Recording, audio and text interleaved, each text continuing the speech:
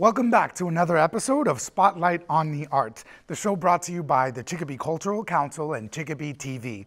I'm Johnny Miranda, your host for the evening, and today we have an amazing show. We have Mike Medeiros from 50 Arrow Gallery in Easthampton and from Poesia Pottery in Florence, Northampton. So stay tuned and enjoy the show.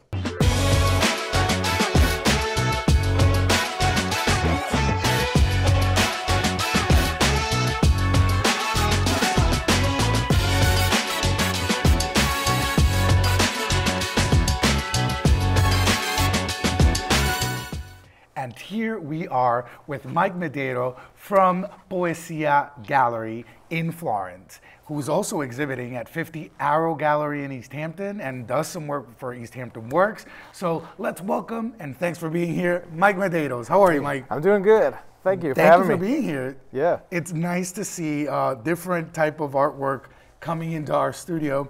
Uh, you are currently working with clay. Yes. Mike, tell us tell us a little bit about you and tell us a little bit about the work you're doing. Yeah. So right now, you know, I'm a ceramicist and uh, a poet. You know, those are the two main things I do. And currently at 50 Arrow Gallery in Eastworks in Easthampton, Mass. Um, I have an exhibit up called "We Are Gardens Haunted by Each Other." And tell us about that. Yeah, so we have the pot sitting in front of us, so that's a representative of the, the, the canvas almost of what we tell the stories for this exhibit on, upon. Uh, it's, a, it's a story that actually started in the springtime. I was like my collaborator, Marcella Haddad, one of my former classmates from the UMass MFA poetry program. We started telling this story to each other, and we're like, and this was grounded first at a public garden in my hometown of New Bedford, uh, the Haskell Public Gardens. And we were going to do an event in June, and we wanted to have these stories, and I was going to do clay demonstrations. And we started upon this theme, and we, we thought it'd be fun to really kind of do like a science fiction kind of fantasy world creation. And what we settled upon was we created this world where something has happened. It, it didn't, we didn't want to explain too much what it was, but, and we were people tending these gardens that had survived through whatever this bad thing had been in the near future. And we were writing letters back and forth to one another. And these letters explain like what's growing, what is the soil like now, what are you seeing, what's changed. And it, it was really a blast to, to explore the let, let our imaginations fly on this. And that evolved from just like storytelling to preserving stories of gardens and people's poetry and stories about them on clay. You know, because you think about it, we have these clay shards and clay uh, vessels that have lasted thousands of years. So in a world where things are going uh, topsy turvy, it, what better way to preserve, Yeah. uh, you know, an afternoon where you remember what a tree was like, what a specific flower looked like when it was blooming in your grandmother's yard, what a what a certain vegetable tasted like in a world where maybe that's changing, and so we were able to draw. I was able to draw in a lot more collaborators on er, collaborators on this to share their stories with me, and that's what's going on at 50 Arrow Gallery right now. Is you know I'm there from December 10th. We started last year on December 10th, and it runs through February 26th. Amazing. Um, yeah, so in that entire time, we're filling the space more and more. I'm making more ceramic pieces, and I'm encouraging more and more people to come in and tell me their stories, because even it's kind of evolved beyond that initial like apocalyptic story um, to being we're in a, a time that's changing. We're in a time where the environment is changing rapidly, and so it's a chance to really give these memories of a single moment in time and preserve it almost like a fossilization on it. You know, you look at some of the pieces in there, and it looks like these fossils of a, of a lost time. And so I just we just imagine that, you know, paper might not last, but a shard of this pot with a story on it Yeah, might be found in a river sometime or in a dirt so pile. currently, so currently, people are able to go to 50 Arrow Yes. Gallery in Easthampton, and um, they can make pottery with you, or they observe you making pottery. Correct. How's that process? For the most part, I'm making the pots. Okay. Um, but there's like a component of it where I am working with others, because we're still kind of in a storytelling land a bit. Like we're, where I'm serving as this potter in this time frame. Even though it's more of a set in the real world, we're still Mm-hmm. doing a little bit of that imaginary stuff. And so sometimes I'm taking people in to serve as like pottery apprentices for this time, and we're making flower pots together, or making different things, and most of it's low fire pottery, terracotta pottery, uh, earthenware, which is mostly what you have in Massachusetts, and that's why nearly everything in that exhibit is a local kind of clay. Because I wanted to create a thing where you know, say something has happened, and I find this clay deposit, and these pots can be made with just that basic clay. It's, it's the typical like flower pot type of clay, that orangey or white uh, clay. And with the writing on it, we're using liquid clay to write the words upon it. And that blocks the smoke when I put them into a, a, a traditional style, like Portuguese style pit firing, you know, old school methods. And so the smoke is sinking into the clay and turning it jet black. Whereas that area that's been blocked off by the liquid clay, when you take it out of the firing, Remains. you can wash it away. And right behind it is the unsmoked orange or the unsmoked white. So it stands out really brilliantly against it. Something interesting about that you just mentioned about uh, the source of your clay. You mentioned some of it is local, Yeah. locally dug. Yep. Tell tell me a little bit Yeah, about that, Yeah, there's, um, there's a lot of clay around here. It's not like the, the stoneware stuff or the porcelain. It's not like the high end stuff that people consider uh, tend to want to gravitate towards. It's the it's the lower fire stuff which would melt at the temperatures of a porcelain or something like that. I love it. I've always loved terracotta flower pots and things like that. And when I first realized that, you know, the first time I realized we could get it out here was uh, Greenfield was digging a new transportation station uh, for the buses and everything like that. And one of the local potters, Stephen Earp, was like, "Hey, you know they dug out a bunch of clay there. You can just take." And I was like, "I'm gonna do that."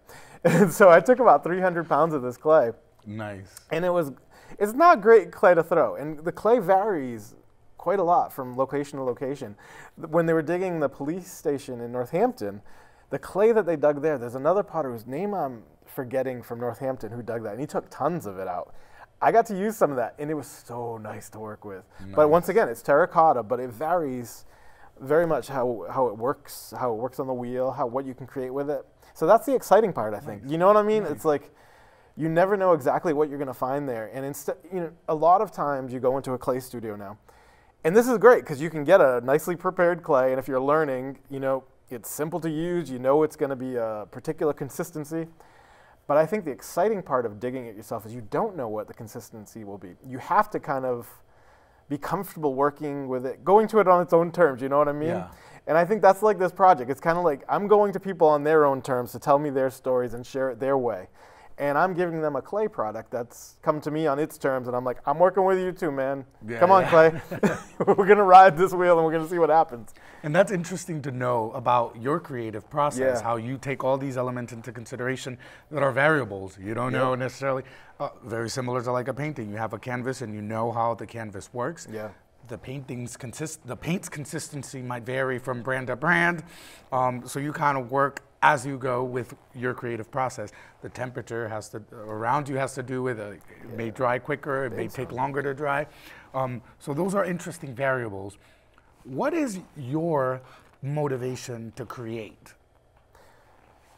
You know, the clay in words link together for me some for some reason. Um, I love both processes, and, and I do a lot of other arts too. You know, for years I was a journalist and a photographer, like a news photographer and stuff like that. Even though when I ran a little paper, I, I made sure to put a flower photog- photograph on the cover every week, uh, which drove some of my publishers nuts. But so the so the sort of floofy stuff I've kind of gravitated to a lot. But that gardeny stuff goes back to my my roots. You know, my grandfather ran this greenhouse range in very urban New Bedford. So amidst this like kind of concretey area that I grew up in, a little rough area, I had this one and a half acre oasis, you know, to go to, where in the middle of winter you walk into this greenhouse and it's blooming with flowers, and under the tables is like clover growing wild, and there's just that smell of like the dirt that's being sterilized in the back room for new plants to come out. So that is like a, I don't know, and that was demolished when I was around 12 or 13. You know, it was sold out of the family when my grandfather died. And I've talked to my family sometimes. I've been like, I wonder if I'm making flower pots now to to revive that space, Yeah, to preserve it in some way. And I'm like, that's kind of weird, but you know what? I'm down with it. Nice. Yeah. So I think that's a lot of where, because I want that was what drew me to clay. I wanted to make flower pots. Yeah. And it, I, have, I have some teachers who are like, aren't you bored out of your mind making those over and over again? And I'm like, nope. But then the element of creativity comes comes in. Yeah. Where you are not just making these flower pots, but the designs are different. Yeah. Um, and you're incorporating this element of poetry Yeah. and storytelling into your pottery making. Um, and I know that that is a very interesting process. Um, would you care to show us?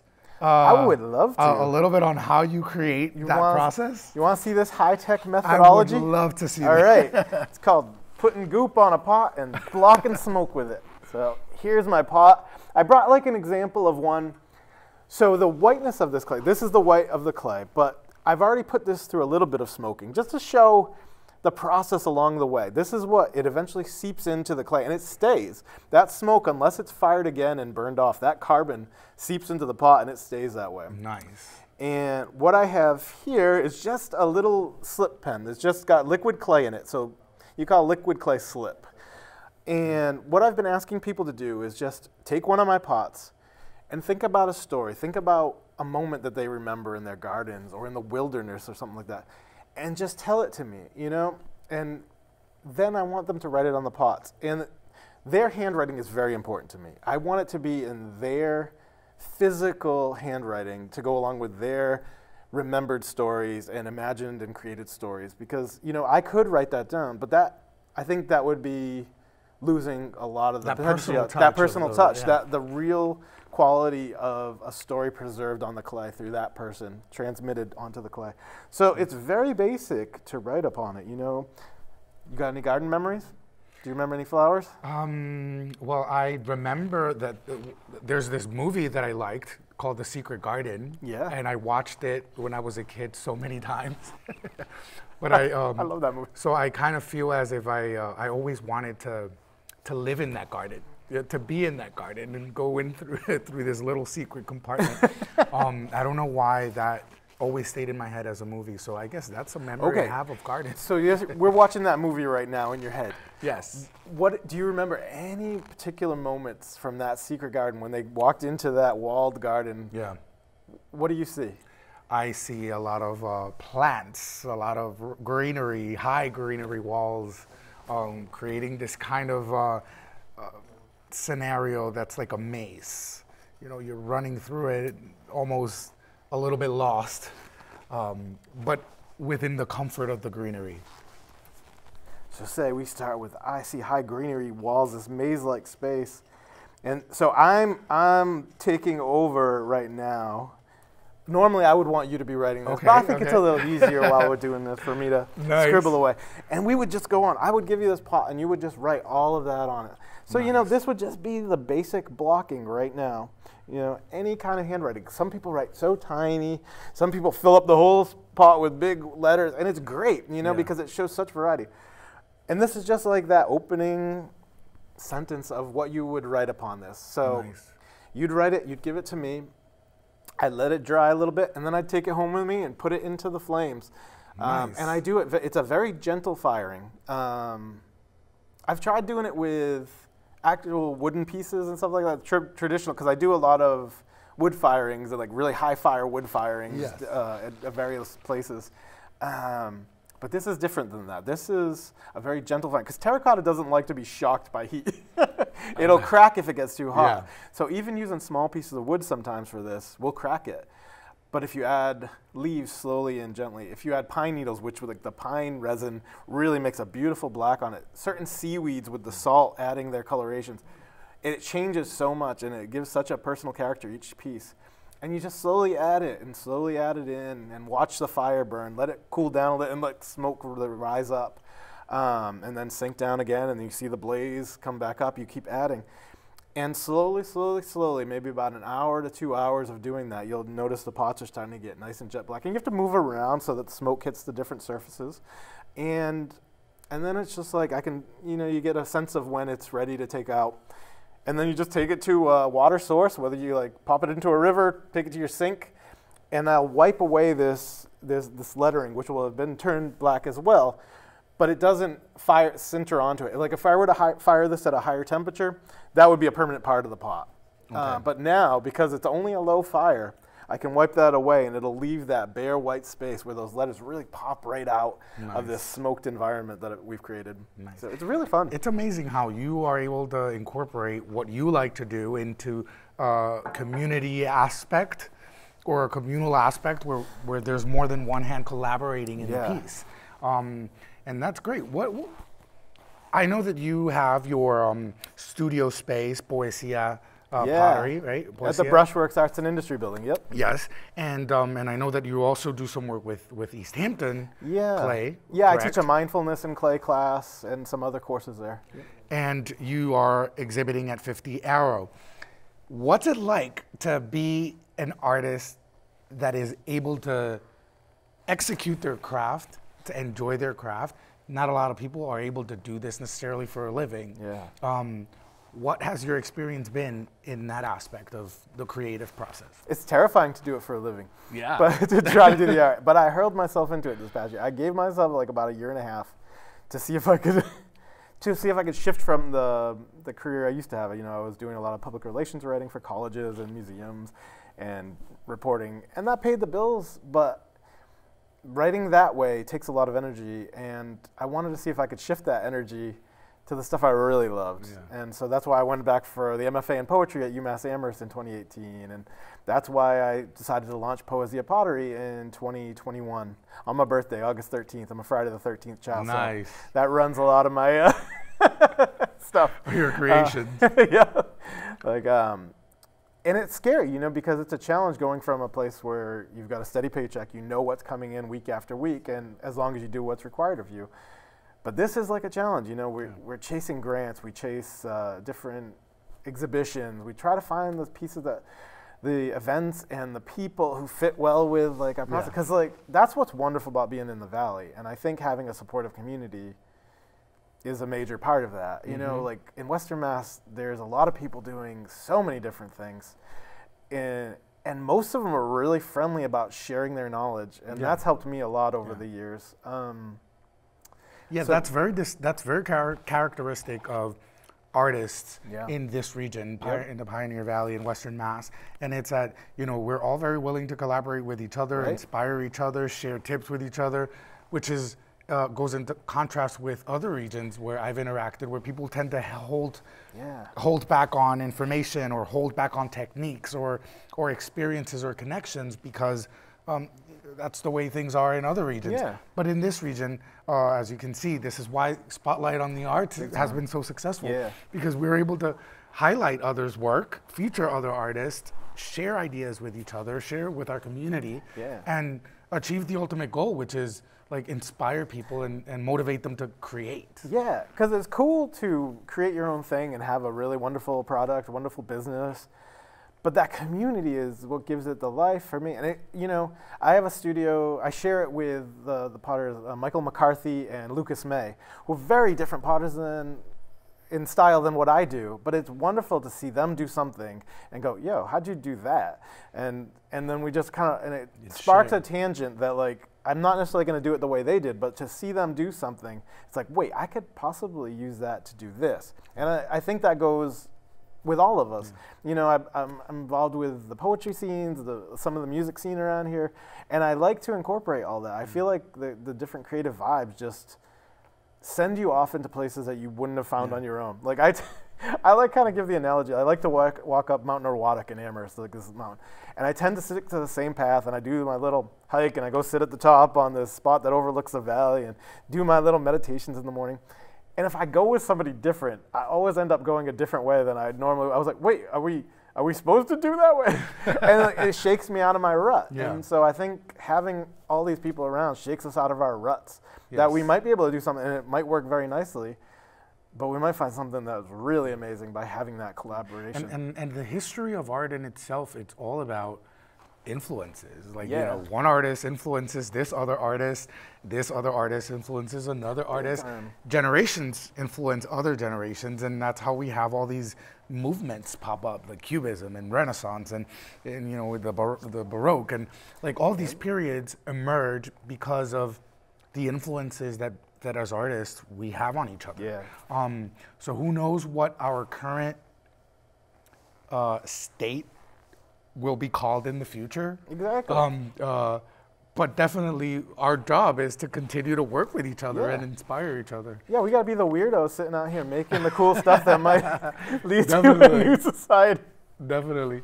Mike, so I know that people can go see you at 50 Arrow Gallery Yeah. currently until. So through February 26th, and we have open studios during Easthampton Arts Night on um, Thursday, February 9th. And shout out to Jason Montgomery Big over there. time. I'm so 50 appreciative of that guy. Uh, yes, he's amazing, and we'll have him on our show as well.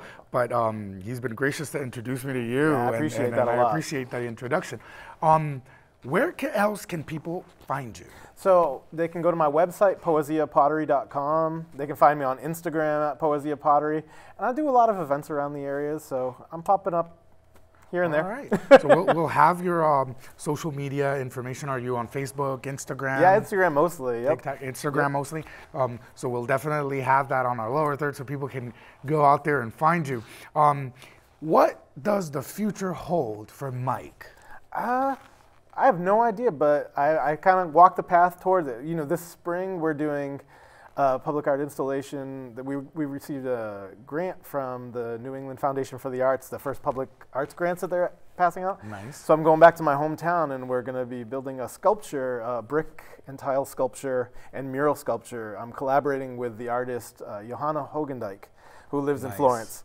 And she's going to be painting these marvelous murals because she does mostly uh, representative imagery of, of a woman that she knows, and we're going to be taking that to the Cove Walk in New Bedford. Okay. So it's like where the hurricane dike was to protect the, the harbor. That's a big thing. That's going to take the spring. It's really exciting to think about what we might do with that space. Nice, nice. That's amazing. Um, again, like being able to, to, to bring your work to different regions and work with different artists, and that's what's beautiful about Right? what we do. It's That's exciting. Yeah, it definitely is exciting. So, Mike, I want to thank you for being in our show. I want to thank you for sharing your knowledge. I would love to um, uh, continue uh, the collaboration and, con- and, and con- seeing what we can gotta finish this pot. continue to do. Yeah, let's see what this We got to secret gardenize this pot. Definitely. Well, I want to thank you, Thanks and I um and I hope that your um, work at the gallery continues to be a, sus- a success. Oh, thank you. And I can't wait to see what you uh, come up with over the summer with this mural project Me in too. New Bedford. so thank you once again, and I hope that you, our audience, have enjoyed meeting Mike as much as I have. Please look him up on social media. Please visit him at 50 Arrow Gallery in Easthampton. I've enjoyed meeting you. Um, and our audience, I will see you next time.